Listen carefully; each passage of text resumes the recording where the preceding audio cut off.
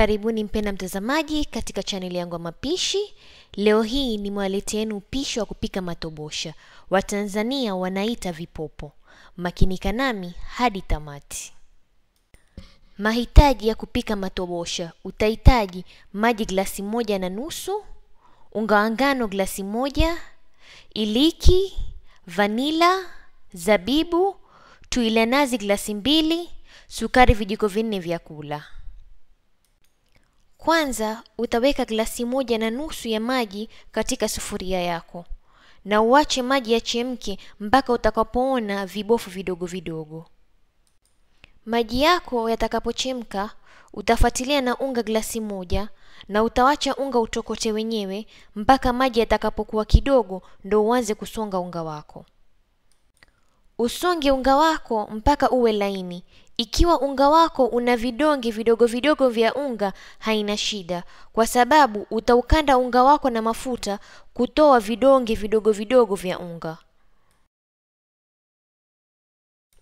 Unga wako ukishaiva, utaukanda unga wako na mafuta ukiwa moto, ndo vizuri, ili vidonge viweze kutoka haraka na unga uwe laini. Ugawanye unga wako kwa madonge masita, alafu sukuma mmoja mmoja kwa mkono, na madonge mengine yaweke kwenye sufuria uliyopikia na uyafinike ili yasipoe. Utachukua donge lako moja na utakanda unga wako kwa urefu, alafu kata unga wako vipande vidogo vidogo kama unavyoona kwa video. Ukishakata vipande vidogo vidogo, utahitaji mafuta kubonyeza unga wako kwa kutumia kidole, lakini usibonyeze sana, yani kiasi kama unavyoona kwa video. Endelea hivyo na madonge mengine yote, alafu tobosha lako liko tayari kwa kupikwa na tui. Jinsi ya kupika tobosha lako: utahitaji tobosha lako, sukari, zabibu, iliki, vanila na tui, na ikiwa kama una lozi pia unaweza kuongeza. Utachukua sufuria yako, utaweka tui, sukari, iliki, vanila, zabibu na kama una lozi pia unaweza kutia ndani, alafu utawacha tui lako litokote.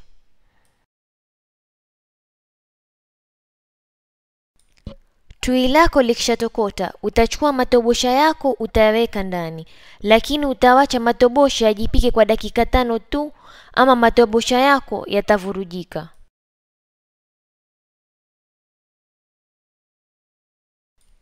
Wacha tobosha lako liive mdogo mdogo, usilikoroge sana wala usilikoroge kwa nguvu, yaani tobosha latakikana likorogwe pole pole.